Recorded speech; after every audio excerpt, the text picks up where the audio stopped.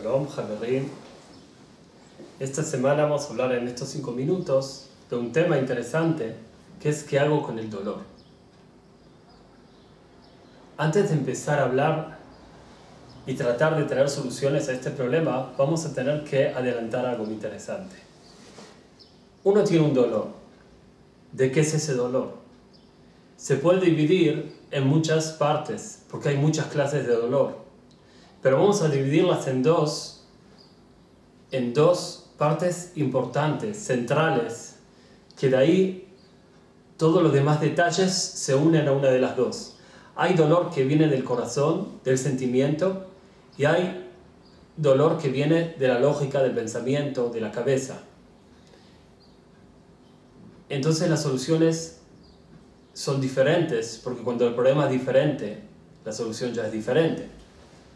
Hay gente, por ejemplo, que está triste por algún pariente que falleció, por un amigo o amiga que lo abandonó y por cosas parecidas, o porque alguien lo ofendió. Entonces, cuando venimos a querer ayudar a esta persona o uno mismo para ver cómo solucionar ese problema que está en el sentimiento en especial. Entonces la solución es, primero, compartir con él en el dolor. No empezar a decir no es nada, no pasa nada, no, es nada, o cosas así, o diciéndole de esto nada más te vas a levantar, porque cuando uno cae se levanta, y cosas así que uno las dice mientras se trata de otro y no de uno mismo es el ejemplo conocido de esa abuelita que vio un niño que se cayó en un pozo y empezó una señora al lado de ella, se puso histérica, empezó a gritar y la abuelita le dice, no te hagas problema, lo van a sacar, no habrá pasado nada. Y viene uno corriendo y le dice, abuelita, es tu nieto, y ahí se desmayó. Hay que cuidarse mucho por eso, de no dar soluciones que uno las da porque no realmente está sintiendo el dolor del otro. Entonces yo digo al revés, lo primero que se le puede ayudar a uno que está mal es sufriendo con él y mostrándole que estás en el mismo problema que él está. Por lo menos, si no tan forma, si no hasta tanto, pero algo te duele que él está dolido. Ahora, la solución de uno mismo, el momento que está dolido, no es buscar solución del dolor, sino es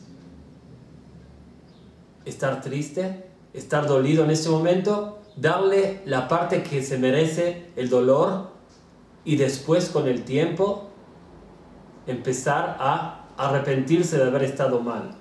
Significa lo mismo cuando tú quieres calmar a otro. Primero tienes que doler con él, que él vea que el dolor de él es también tu dolor y después empezar a alegrarlo con cosas de la vida para que se arrepienta y se pueda fortificar de, haber estado tan mal. Ahora, cuando el, dolor es del cerebro, de la conciencia, de la lógica, del pensamiento, de lo que sea, por ejemplo, uno pierde el trabajo. Entonces uno está preocupado no porque le gustaba mucho ese trabajo, sino porque necesita el dinero. O cosas parecidas que vienen de la cabeza. O que uno realmente pierde un amigo una amiga, pero lo que él no puede ver es la vergüenza que va a pasar por afuera, qué va a decir la gente. O todas cosas parecidas que vienen a ser en el pensamiento de la persona. Ahí ya sí se le puede hablar con lógica para que vea que el mundo no es tan oscuro como él lo está viendo ahora. Y darles fuerza para seguir adelante. Podemos ver algo interesante, que es lo que yo pienso. Vemos gente por dolor y problemas se suicidan. Y vemos también gente por recibir algo de repente no bueno, una noticia mala, eh, un ataque del corazón pasa y puede morir también. La diferencia es que cuando uno viene algo de repente y le cae mal el corazón, es algo que no hay como dominarlo en general. Fuera como estaba muy preparado de antes, bueno. Pero todo lo que viene a ser eh, que por un dolor la persona, la gente se suicida, que, que es un error muy grande. Bueno, eso no viene por el dolor del corazón tanto, sino por la cabeza. Un pensamiento malo que uno tiene, que piensa que como no lo estoy pasando bien, entonces decido con conciencia hacer cosas que no hay que hacer.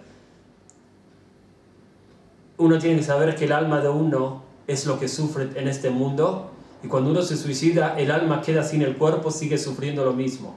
¿Solución eso no es? ¿Qué es la solución realmente? Una persona tenga fe en el Creador, que el futuro va a ser mejor. Y otra cosa más, que vea que hay peores cosas. Aunque aún no está sufriendo mucho esta cosa, tiene que saber que hay peores cosas. Cuando Rabbi Akiva y su mujer estaban en el camino después de casarse, el camino de la Torah, quiero decir, el principio del camino de la Torah, y la, su mujer Rachel venía de una familia millonaria que la echó de la casa por haberse casado con Rabbi Akiva, y estaba muy mal, y dormían en el piso en paja. Una vez vino el Naví, el profeta Elías, y golpeó la puerta para pedir un poco de paja, que su mujer tenía que tener familia y no tenía ni paja. Y todo eso lo hizo el Naví Elías para consolar a Rabbi Akiva, que vea que hay gente que está peor que él. Yo pienso que pensando, cuando ya se trata del pensamiento, si uno se concentra y ve que mucha gente pasó lo que uno pasó y salió adelante, que hay gente que pasa lo mismo, pero está peor que uno, pasan cosas peores, perdón. Eso mismo le da la fuerza a uno a seguir adelante. Por eso digo, si uno viene a consolar a uno por algo malo que pasó, que en el corazón sufre, primero que sufra con él y después que trate de darle fuerza para que se levante y se arrepienta de haberse decaído tanto. Cuando se trata del cerebro, de la conciencia, del pensamiento, entonces la solución ya es diferente. Se tiene que hablar con la lógica, porque con pensamiento se habla con lógica, con, con el corazón se habla con sentimiento. Espero que siempre sepamos días alegres y que estén con nosotros la semana que viene con los cinco minutos del tema nuevo.